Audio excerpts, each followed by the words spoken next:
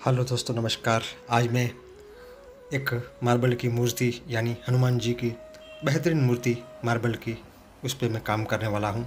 देखिए स्टार्ट में, शुरुआत में गोल्ड कलर से करता हूँ, कभी भी। दोस्तों, आप गोल्ड कलर कौन सा भी लगा सकते हैं। ऑयल बेस वाला लगा सकते हैं और वाटर बेस भी गोल्ड कलर आता है, उससे भी आप गोल्ड कलर लगा सकते हैं दोस्तों। हमारा गोल्ड कलर का काम पूरा हो चुका है। एकदम बढ़िया हो गया काम। अब हम दूसरा स्टेप यानी आँख बनाने की विधि होती है जो आँख बनाने की शिकुलर उस पर मैं ध्यान दूँगा। दोस्तों, आँख बनाने की नाजुक जो है काम, उसको एकदम सही तरह से करना चाहिए, क्योंकि मूर्ति का जो फोकस होता है वो आँख पे ही होता है ज़्यादातर। तो आप जब भी काम करें तो अच्छा काम कीजिएगा आँख बनाने का।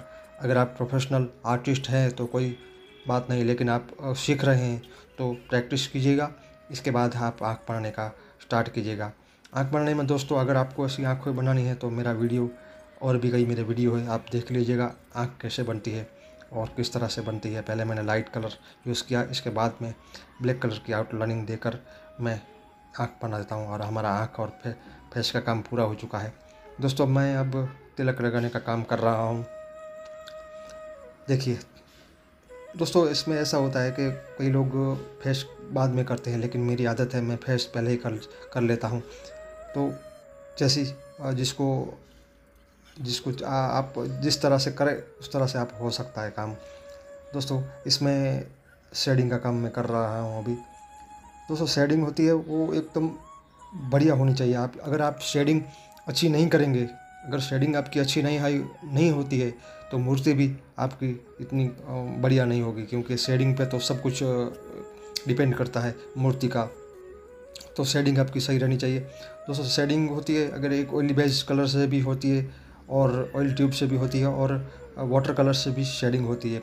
दोस्तों, कई लोग मैंने आर्टिस्ट को देखा है, वो पेन गन यानी स्प्रे से भी कर सकते हैं। मैं भी करता हूँ गन से, लेकिन मुझे तो ब्रश से अच्छा लगता है शेडिंग करने का, क्योंकि काम भी अच्छा होता है। देखिए दोस्तों, अब मैं जो पीछे वाला जो मुगट के पीछे है, उस पर भी मैं शेडिंग देकर डिज़ाइन बना रहा हूँ।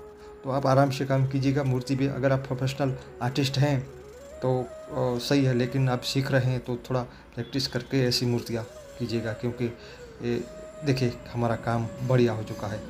देखिए दोस्तों, आपको अगर ये मूर्ति पेंटिंग अच्छी लगी हो तो मेरा चैनल सब्सक्राइब कीजिए और भी वीडियो देखिए।